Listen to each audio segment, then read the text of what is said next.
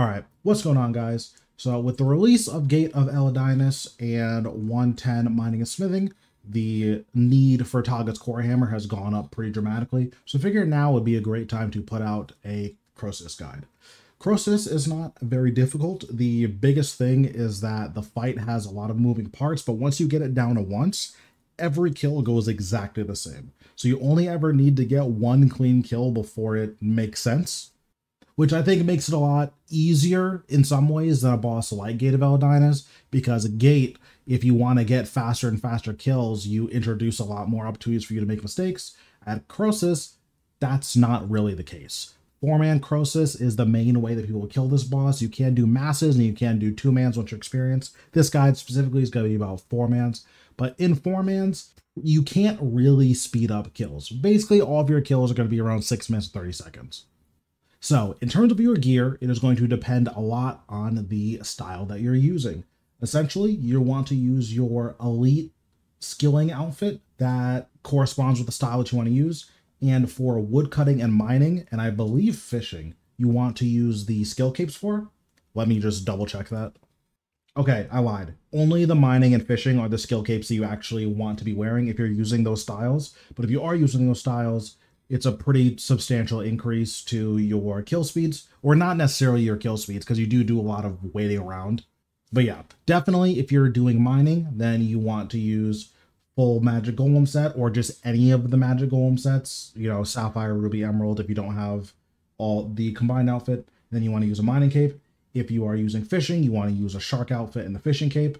For wood cutting, you just want to use the sentinel outfit. And for hunter, you want to use the trapper outfit. For your main hand, you just want to wield whatever item you're using that matches your style. Bringing all the other styles helps out quite a bit, but it's not necessary at all. Also, if you don't have an augmentable pickaxe, for instance, you can just use the one on your tool belt. So in the kill I'm going to show, I have a primal pickaxe on my tool belt, so I don't get anything by showing you guys of me not you using this, but this isn't going to do like more damage than primal pickaxe. The kill speed to be exactly the same. I am bringing Grace of the Elves because it's a skilling boss, so more money is more better. Same thing with Brooch Brooches of the Gods. These can both proc, so you bring them both because more money is more better. If you want to use a Ring of Whispers, you can, but it's really not necessary. The only skill that I could kind of recommend it for is mining, because mining is the slowest of the four skills, but I would just use a luck ring if you have it. It doesn't really matter that much. Now, once you're experienced, you want to bring all four of the main hands for the last mechanic, which is the center. In the center, it can be any of the four skills, and then just using a main hand of the appropriate skill does improve your kill speeds a little bit and it improves your contribution. Besides that, you want super restores. Typically, I would say bring three to four super restores. I only bring one because I'm very comfortable here, but until you're comfortable here, you want to bring three to four super restores. This is because the way that Croesus kills you is it drains your stats. If your stats get drained below a certain amount, it just kicks you out of the fight. Super restores counteract that stat drain, so that's why you bring them. Once you get more comfortable here, you'll basically never use these, but it is worth keeping in mind that you still should bring one just for emergencies. I have two rune pouches. This is to cast Crystal Mask. Crystal Mask is really good because it prevents one instance of Croesus reducing your stats. So whenever any of the blobs spawn in, it'll protect you from that reducing your stats. Whenever one of the bombs drop on you, it'll protect the first instance of stat reduction from that. And if you get hit by like a mushroom or something, it'll protect the first instance of stat reduction. Same thing where if you move incorrectly in the mushroom field, granted the mushroom field damages you really fast, so it's not going to matter that much for protecting you there. But again, it is worth keeping that in mind. Now, the best offhand and arguably the most important piece of equipment that you can use here is Sana's Fyrtorch. This is so powerful because it consumes as an infinite fire source for when you get hit by the sticky mushrooms attack. The sticky fungi, what it does is it prevents you from moving and also will slowly drain your stats until you clear it. If you don't have Sana's Fyrtorch and you're a main, bringing Protean logs is very good. Alternatively, you can also burn the main resource that you're gathering from the node, but it is highly recommended that you bring either some logs for every kill, or you bring protean logs. Another part of the fight, you're going to need to repair the statue. The Artificer's Measure gives you a chance to get four times progress on the statue. Not necessary at all, but it is nice.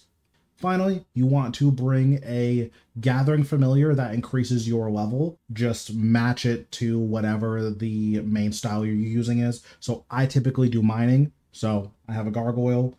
This doesn't super matter. Like if you don't want to use a gargoyle and you want to use a lava golem or something, or a lava titan rather, you totally can. It's not a huge deal either way. You just want to bring something here to help with your gathering. You could bring a water fiend. I don't think it's necessary and especially because generally you have an excess of resources. So, you know, I wouldn't worry about bringing a water fiend. I forgot to mention it, but I do have a perfect plus potion. This is useful for wood cutting and fishing, so it is worth bringing if you have those skills available, or if those are the skills that you're working on. But okay, let's start a kill. So I am using an aura here. You just want to use a gathering aura that increases your success chance. I believe that's what all the gathering auras do. So I don't know why I specified that, but you just want to use a gathering aura. I am using the legendary mining aura. It does not matter whether or not you have this. It will slightly speed up your kill. The first thing that happens in a kill is usually the person who is on the hunter node will start the kill because hunter is the fastest node. And you will see here that there are three parts of this carcass there's this glowing part, there's this regular part, and then there's the blackened part. The blackened part will give you rotted fungus. You don't want any of that, at least not until later on the fight. The regular part will just give you the main resource, but you won't get as much contribution. And the glowing part will give you the most contribution. Typically, you always want to hit the glowing part. So when I actually start the kill, you'll see that's what I'm doing. I'm pretty much only hitting the glowing part. Now, this interface up here this is Croesus Helper. It is a plugin you can get for Alt 1 Toolkit.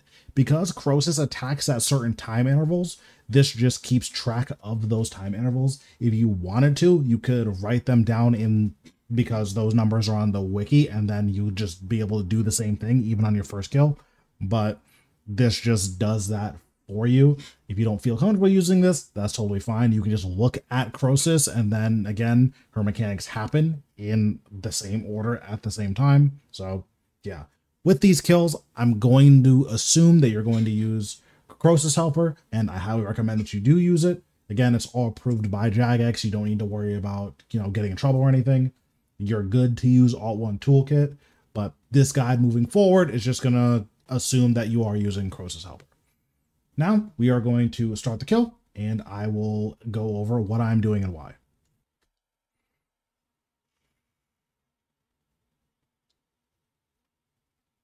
Okay, so here I am just clicking on the glowing one. It gives you the most contribution points, so that's why you're doing it, and it clears out this node the fastest. The first bomb falls at 13 seconds, so I'm going to click off and then click back on just to drop the bomb, not where I'm working.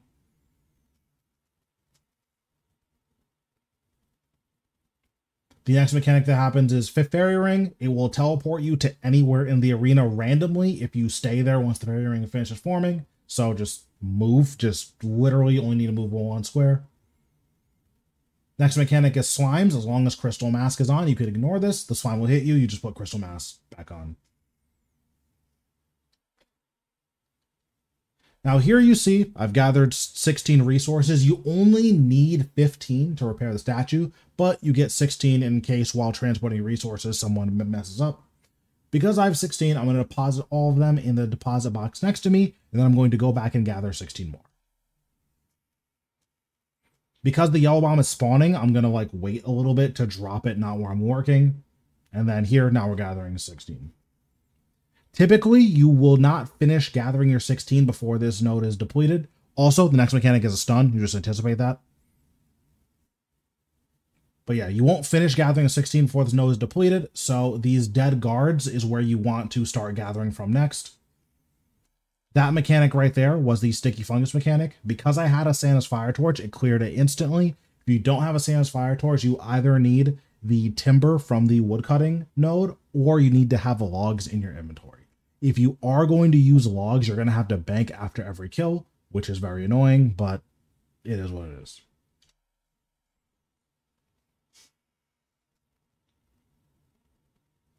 Next attack is going to be a bomb, so we're just going to move once the bomb falls. I get kind of greedy here and try to finish this out, but I realize it's not going to work, so I should just drop the bombs to somewhere else. Okay, so now I have 16, we're going to move to the next place. The way this method works is in four-mans, you want to do the 2-1 method. What that means is you want to move two quadrants and then one quadrant. Which quadrant you move to first is preference. My personal preference is to cross the mushroom field first, which is right here, and then cross the other mushrooms that you climb over second. So if I was starting on the wood cutting, I would go in north and then east, but because I'm starting on mining, I'm going north and then west. Now it is highly recommended that you have dive and or double surge for this. If you don't have these, it's going to make this a lot more annoying and you're going to waste a lot of time just waiting around for this mechanic. But what you want to do is if you have dive, you want to stand on the bottom step where I just clicked and then dive to the other side and surge. If you don't have dive, you actually want to walk one step here, like one step back, click one step forward so you're facing the mushroom patch, then surge and surge again. So here you see I dive and then surge. And then if you do it in that order, you get to do this diagonal surge here, which saves you a few seconds. Now, for these mushrooms, you only want to climb over the glowing ones. If you climb over the ones that aren't glowing, it'll rot one of your fungus and it will drain your stats. You only need to click on these once. If you click on them more than once, it'll instantly climb you back over. So just make sure you click on it once. I actually think I make that mistake here. I'm not sure though. Yeah, yeah, I make that mistake here. So that's why you don't do do that. So now that we've gone halfway around, this is the two. We're going to deposit all of the ones in our inventory into the statue and then withdraw from the storage spot. Also, the next mechanic is Blue Bomb. Now, the direction you go in from here is going to depend on the pathing that you took when you did your first two. Where you want to end up is one quadrant clockwise from where you started. So because I started in mining, I wanted to end up in woodcutting. If I started in woodcutting and I crossed the mushroom patch, I would go north and then east, and then I would go back west to the hunting spot if I were to start in mining, which is why I did start, I would go north and then east, and then I would go south to end up in the woodcutting spot. So to summarize, if you end up going clockwise, the first two quadrants, you want to go clockwise the last quadrant. If you go counterclockwise the first two quadrants, you want to go clockwise the last quadrant. Then we're going to cross this, surge and then dive. We're going to deposit this into this statue, and then because Blue Bomb was the last mechanic, we have a stun coming up. We're just going to anticipate that. And we have the green energy fungus. The energy fungus is where you're going to get the vast majority of your contribution points. So you see here, this guy got hit with the sticky fungus. You want to make sure that if you get hit, you clear it because it'll interrupt you. What some people do is they'll just tank this so that they can make sure they get all the energy for the energy fungus. I haven't found that to be necessary. Normally, you just clear it, click on the energy fungus, and then you're good to go. But yeah, this is where you're going to get most of your contribution, so make sure that you're heading towards mid when you see the blue bomb. Two mechanics after blue bomb, the energy fungus spawns. So the alt one timer can't tell when you finish the energy fungus. There isn't like an in chat thing that says, hey, you finished this. So you need to manually click this button up here as soon as your character stands upright. If you're a little bit early or a little bit late, it's not a big deal. You just want a general idea of when stuff is going to spawn. But make sure you do that because it's going to make following the rest of the fight a lot easier. Okay, so now we need to rot this node. We do this because it gives us contribution and it prevents this from regenerating as fast. If you don't rot the node, there is a possibility that it fully regenerates, which will dramatically hurt your chances of succeeding in a kill. This is the woodcutting node, so I'm putting on my hatchet. Again, not necessary. I stand on this side of the dead lumber's guard because when the red bomb comes, I can go to the other side of it and just keep mining it. Don't have to worry about the lumber's guard. Or don't have to worry about the red bomb, rather.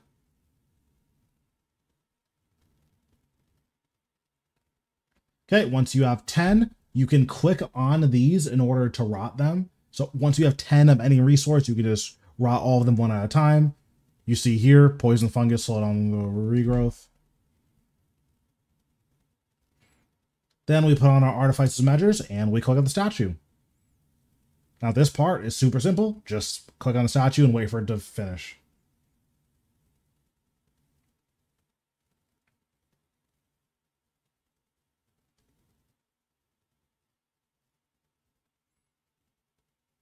Now for the bombs, you don't have to dodge them immediately. You saw there, I just waited for it to actually land before I moved.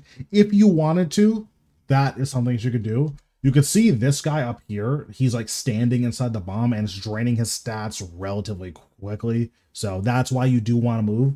Crystal Mask eats the first instance of drain, but you can see if you're just standing in it, your stats are going to drain very quickly. So stun's coming, so we're just going to anticipate.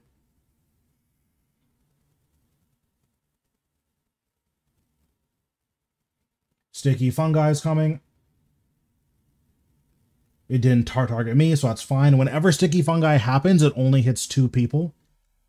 So now my statue is rebuilt. So what I do is I pray this until it's two ticks away from finishing, which is here. Once it's two ticks away from finishing, or as it gets to two ticks away from finishing, you want to click off. This is because clicking off takes one tick. So you see here, I spam clicked off and then I got one extra tick if your statue fills up, it'll instantly open the, the core. That's not the worst thing ever, but it can mess up a kill, especially if other people are making mistakes. So if you're not comfortable doing that, you can pray it to like three quarters and then quick off. That will get you one less tick than this, but it's a lot safer. Also, if you're lagging, stop at like half. It's not the biggest deal. So now we just wait around for the core to open. Typically, what you do in four-man is you wait for the second mid-energy fungus. But yeah, because we finished when, when we did, we just stand around. There is nothing for us to do. Once you're really comfortable with Croesus, you can bring something to do once you're at this point of the fight. What a lot of people do is they'll bring like fletching stuff. That's something you can do. You bring, you know, headless arrows or whatever, but that's for you to decide if that's what you want to do. I like to hang out and chill during this part of the fight, so that's usually what I do here. So we just saw a blue bomb. That means the next mechanic is going to be a stun, and the mechanic after is going to be the mid-energy fungus, so we're going to anticipate.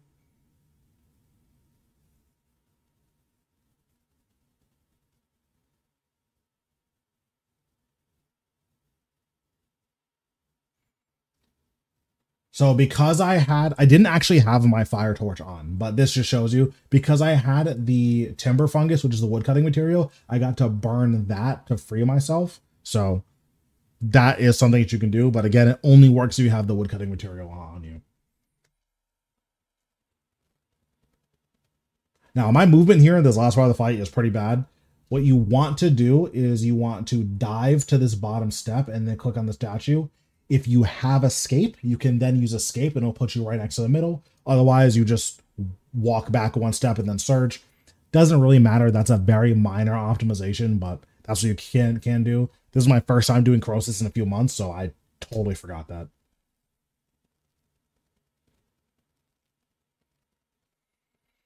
Okay, so now we are at the core. This core is fishing. Now, the cores have really weird click boxes so you just want to be careful when you're doing the core to make sure that you're not clicking on random stuff. When you're in this part of the fight, the core is either going to glow red, glow white, or glow green. I either the green or the white one is going to be blue if you're in colorblind mode, which I'm gonna be honest, I don't know what blue looks like to colorblind people, but yeah, I, I don't know. I don't know say. But yeah, there's gonna be red, which is the bad color, I don't know if it's clear to colorblind people that there's a bad color. There's going to be two colors that aren't the bad color. For the good colors, you want to click them. For the bad color, you want to not click it. That's pretty much it. Because these have finicky click boxes, you want to hover your mouse above it because like these are vines here, you can't actually click on those vines, which is very annoying. You'll see here at some point I like misclick Yeah, there I just clicked in between the, the vines. So just make sure you hover your mouse over a clickable area and then just click it every time it glows the relevant colors. Now, something to keep in mind is that the hunter node in particular is very finicky about when you actually click. So whenever you're clicking for the hunter node, make sure you double click it. For whatever reason, if you click it on the wrong game tick, it just won't register. If you double click it, completely solves that issue.